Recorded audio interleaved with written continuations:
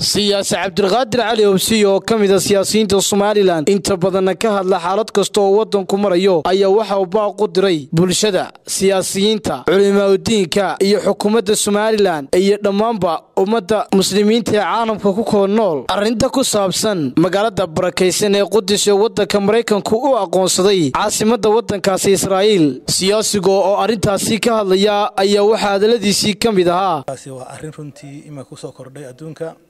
هورنا لوجا فيلا هي إن مريك هي نكن مكوع صبا كنت يا دونك عالم كإسلام كنا وق قيلي عالم كلا ولا بريار قلبيت كوا هي كقيلي وأنا من لو بهين إن قلب تريني نكح هذا الله رنتي هدي ورباهين تتهاي هدي علماء تتهاي هدي سياسيين تتهاي يا هدي حكومة تنتي هريتون صبا تهاي ومن لو بهين إن هذا الله ويد المسلمين وين هاي muslimnimaduna oo waxa keliya ama diintan uu ilaahay adduunkan uu keenay uu abuuray weeyaan haddii la waayona adduunku wuu dhammaanaya nabadgelyadana jiri mayso barwaaqo lagu noolaanaya ma jirayso shaqo iyo ganacsi ma jirayo waana xadiis laa taquumu saaca xataa sharaaru naas saacadda qiyaama ma dhacayso ma kacayso ilaa dadku ay xumaadaan haddii dad islaam oo qoraya laa ilaaha illa allah laga waayo adduunyada waa kharaabeysa waa baaba'aysa ilaahay wuu laalaabaya marka waxaa fiican inaynu ka hadalno waana shayga keliya runtii ilaahay inagaga raali noqday weeyaan waa diinta ilaahayna yidhi subxaana watacaala bacda acuudu billahi min ashaytaan arajiim alyawma akmaltu lakum diinakum waradaytu lakum alislaama diinan.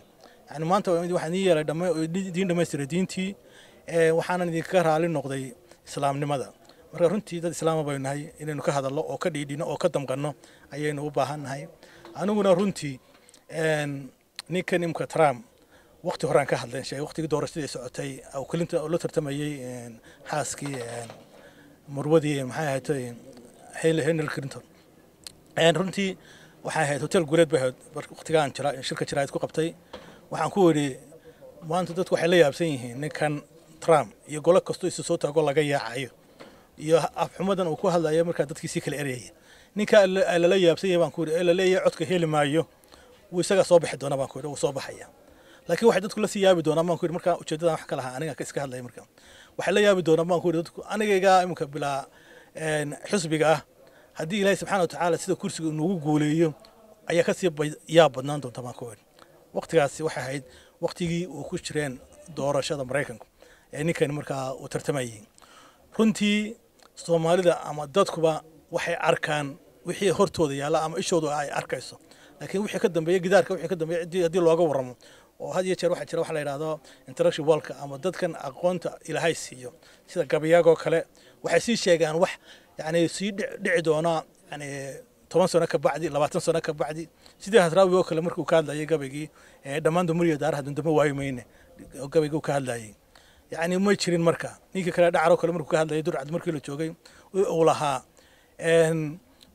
Dulcad waxaana dhigay xamar waa lagu dambaysiin. Lama xamar dagaal kama socon manay gaarin dadkuna iyagaad bay u qaxayeen. Marka waxa weeyaan waa aqoon iyo garasho ilaahay dadkan uu sii siiyey. Bini aadamkuna waa sidaan hore u sheegay waa shantaa farood isku garasho maa isku aqoonna ma aha ilaahay baana bixiya. Marka runtii soomaalida iyo dadkaba waata dee soomaalidu tiraahdaa dadka ayaa ugu ayaan daran baa layidhi. Ninka ugu dheer baa dadka ugu ayaan daran baa layidhaha.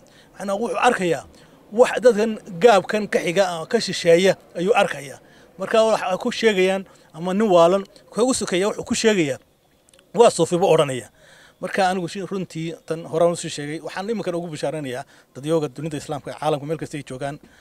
Waxa soo socda waqtigani waa waqtigii islaamka quwadaysanayay erdogan oo ah runtii ninka keliya maanta dunida islaamka ka dhaqdhaqaaqaya fikirkiisuna aadka u fiican yahay. Waxaan odhan lahaa anigu haddii soo jeedin lahaa in loo aqoonsado inuu yahay hogaamiyaha islaamka ee maanta caalamka. In loo aqoonsadaan ku talin lahaa insha allahu tacaala laguna taageero. Xamse jaamac xuseen awowo star t v hargeysa